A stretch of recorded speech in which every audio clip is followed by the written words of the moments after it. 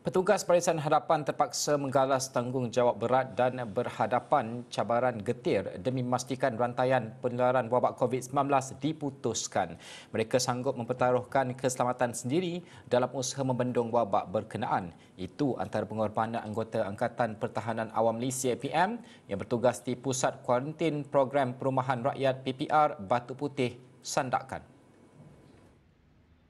Bagi mengetahui tugasan dan cabaran mereka, Astro Awani melakukan liputan dan tinjauan di pusat kuarantin berkenaan. Untuk penugasan di PPR ni pusat kuarantin Batu Putih ini APM uh, yang akan menyelaras kerja-kerja uh, uh, ni kerja-kerja dan apa menjaga kebajikan dan penyelarasan segala bentuk makanan dan keperluan penghuni di pusat kuarantin ini uh, rutin harian yang kita akan buat ialah kita akan mengadakan taklimat ringkas ataupun short briefing di awal pagi berkenaan pelaksanaan, pelaksanaan penugasan sepanjang harian dan selepas uh, diberi taklimat tersebut mereka akan uh, melaksanakan tugas mengikut jadual-jadual dan penugasan masing-masing.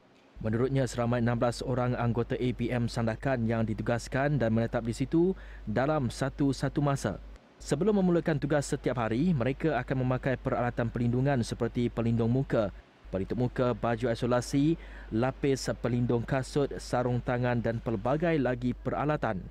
Menyentuh rutin harian mereka, anggota APM merupakan petugas yang mengatur makanan dan keperluan asas tempat kuarantin terbabit. Bukan itu saja, soal kebersihan pusat kuarantin juga menjadi tanggungjawab anggota APM.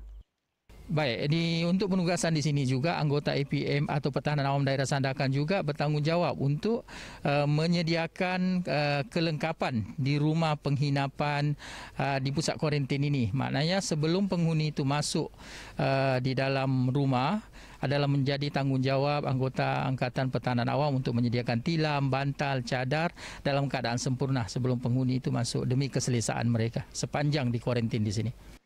Setelah berbulan lamanya menetap dan bertugas di situ, pelbagai cabaran dihadapi anggota agensi berkenaan. Bagi mereka, perkara paling mencabar apabila perlu mengatur dan mengurus ratusan tempat tinggal apabila berlaku peningkatan kes COVID-19 yang mendadak. Secara umumnya uh, saya bersama anggota saya di sini sudah bertugas sejak 17 Mac lagi. Jadi kami sudah memasuki hari yang menghampiri ke 300 hari berada di sini.